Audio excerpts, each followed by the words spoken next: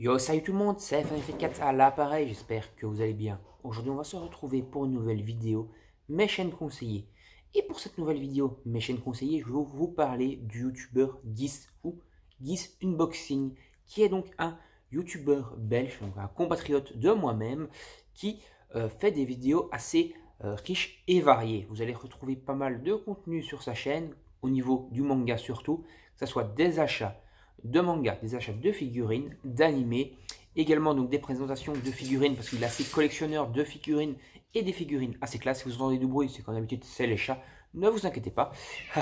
et donc vous allez également retrouver d'autres concepts de vidéos euh, liés souvent et pratiquement toujours au manga, même s'il a parfois quelques vidéos qui ne sont pas manga, par exemple des ouvertures de cartes Pokémon, parce qu'il était assez passionné également par ça, mais je pense qu'il a un peu mis un stop à là-dessus. Mais je pense que ces vidéos sont encore disponibles, donc si vous voulez aller voir des unboxings de Geese, n'hésitez pas à aller voir. Il aura également parfois des petites reviews de certains goodies, comme je l'ai dit par rapport aux figurines, mais également par rapport à des items manga, par exemple l'artbook euh, de Death Note.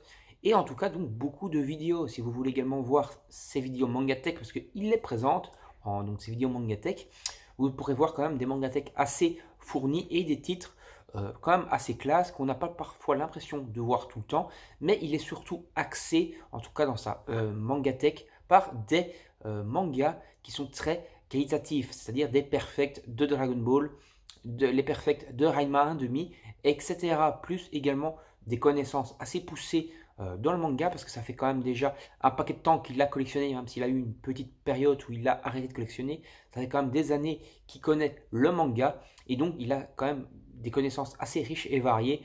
Euh, par exemple sur Dragon Quest la quête de Dai, donc Fly en français, le deux animés Fly, etc. Il y a quand même pas mal de petites informations très croustillantes à trouver sur le manga. N'hésitez donc pas à aller voir euh, le lien qui se trouve dans la description de la vidéo, qui sera donc le lien de sa dernière vidéo comme d'habitude. N'hésitez pas donc à vous abonner à sa chaîne, à liker, partager ses vidéos sur vos réseaux sociaux, etc. pour l'aider.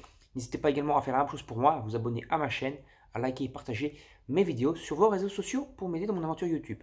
Sur ce, salut tout le monde, à la prochaine. J'espère que la vidéo vous a plu. Bye bye.